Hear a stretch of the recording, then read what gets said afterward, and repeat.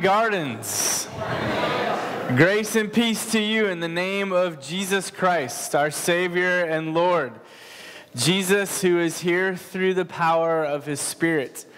And it is through the Spirit that we are called into worship this morning. So, will you please join me in the call to worship you'll see on the screens and in your bulletins? The Lord be with you. The Word of God is loving and it is active.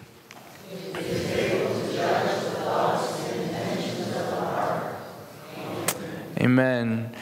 As people of God in Jesus Christ, we gather together on Sunday mornings to declare who it is that we worship, to declare who it is that is Lord of our life, and to be strengthened for our lives of discipleship and service and blessing to this world. So, my prayer for all of us this morning is that we would meet with Christ through the power of His Holy Spirit this day, that we would be transformed by the power of Christ's word, and that we would be agents of blessing who would leave this service to help transform this world that is hurting, that is broken, and that is desperately in need of Jesus.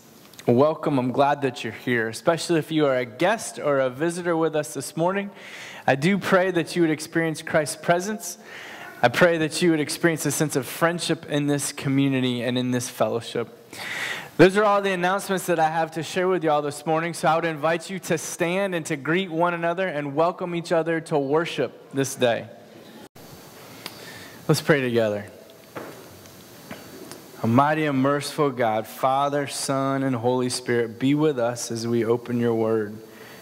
Be with us as we hear your word preached, proclaimed. Lord Jesus, be with us and speak to us this day. In Jesus' name we pray. Amen. So today is Transfiguration Sunday. It's that Sunday in our church calendar, the liturgical calendar that falls in between the season that's called ordinary time, which always sounds so ordinary and boring, and Lent. So next week begins the first Sunday of Lent. Last week marched, uh, marked kind of our, our the first, the last Sunday of the first section of ordinary time. So here we are at Transfiguration Sunday, and it's one of the times every well every year. It's one of the Sundays every year in which we read the same passage of Scripture from the New Testament. And that's found, we'll read it in just a little bit, the, from the Gospel of Matthew, where Jesus went up on a mountainside with few of his disciples. And during a time of prayer and of discipleship and teaching, he's transformed into his glorious heavenly self before their eyes while he's still on earth. And Transfiguration Sunday is for us here in the church a reminder of really two things for us. The first is it's a reminder of Jesus' presence with us in the midst of the trials, the doubt, the hurt, and the struggle of life. See, when the disciples climbed up the mountain with Jesus, they were going through the daily grind. They were doing their life. They had their questions. They had their doubts about who Jesus was. They were experiencing and seeing with their own eyes the brokenness and the suffering of the crowds and the masses who would clamor around Jesus. They would see in the people that they saw in the crowds and even recognized in their own life their own sense of loss and of hurt, their deep, deep, heartfelt desire for wholeness. So the disciples were constantly surrounded by that, even with Jesus, even as Jesus was teaching and, with, and was healing in his earthly ministries. The disciples still, the scriptures tell us, had these doubts about who Jesus really was and the ultimate effectiveness of Jesus. The disciples were experiencing deep and great frustration in their own discipleship. And Jesus would bring them to him and he would shape them so that they would then be sent out to go do the things that they saw Jesus doing, like healing other people and teaching and preaching and caring for others.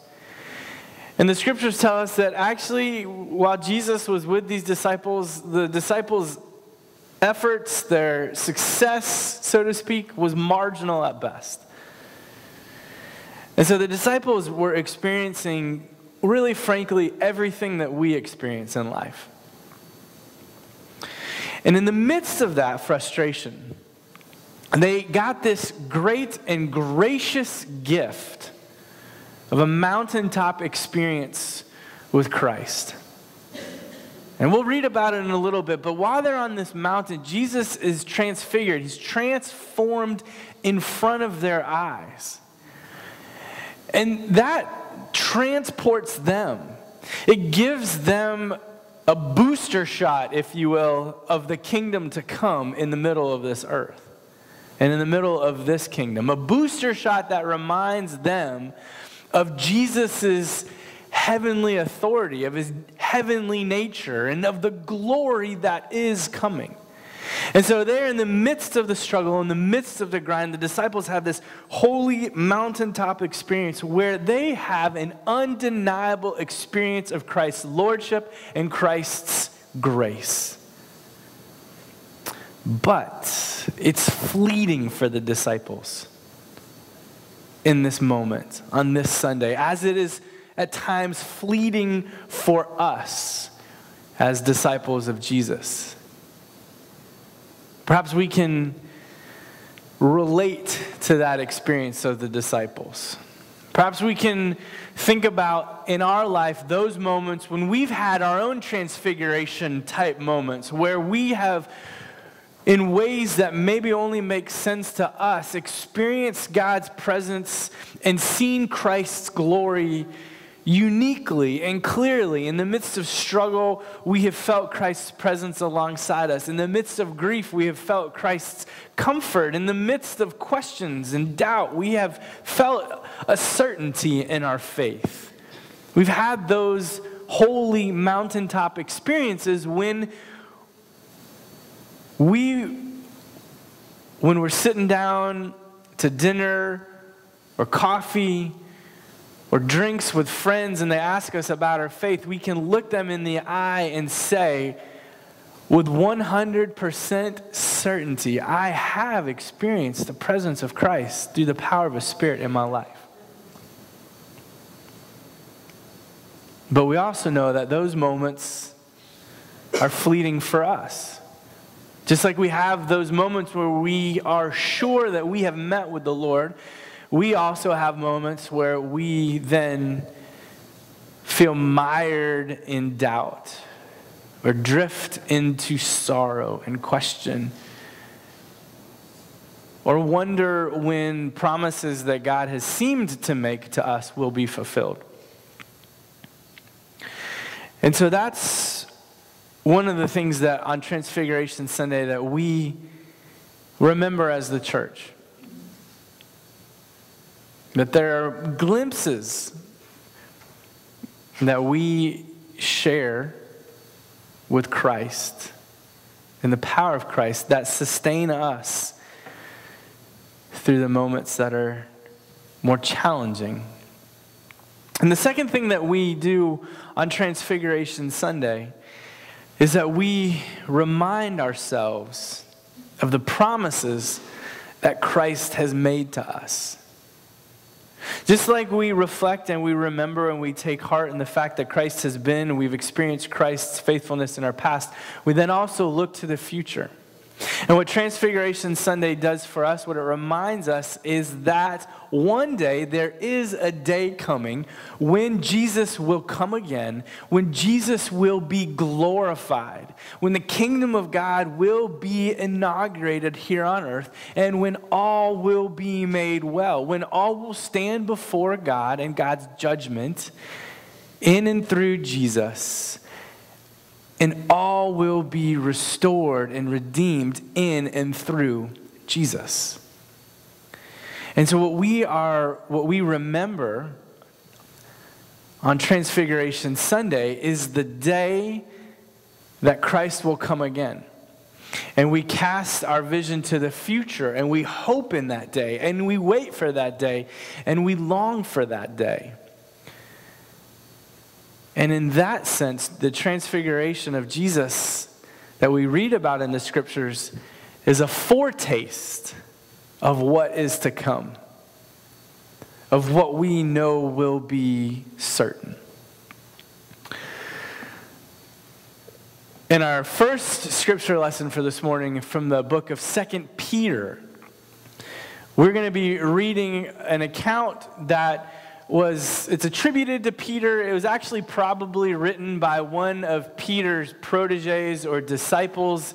It's written in kind of the ancient Greco-Roman style that's called a testament, which is what's kind of similarly known as um, well, for lack of a better word, a deathbed speech where famous orators, famous politicians, famous religious leaders in the Greco Roman world who knew their time was coming and they had that one last thing that they wanted to say.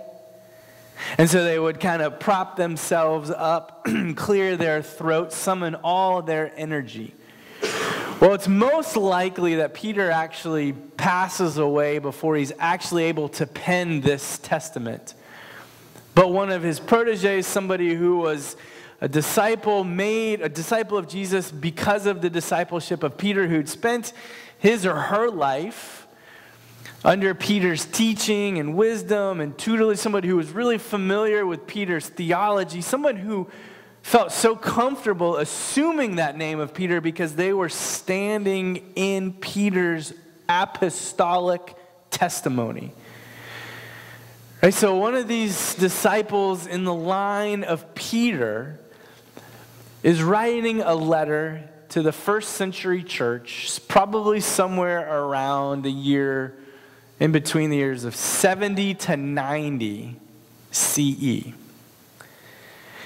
And the churches uh, that he's writing to are in the Asia Minor area, modern Turkey, Galatia, some of those churches that even Paul has been in ministry to. And these churches are going through a crisis of faith.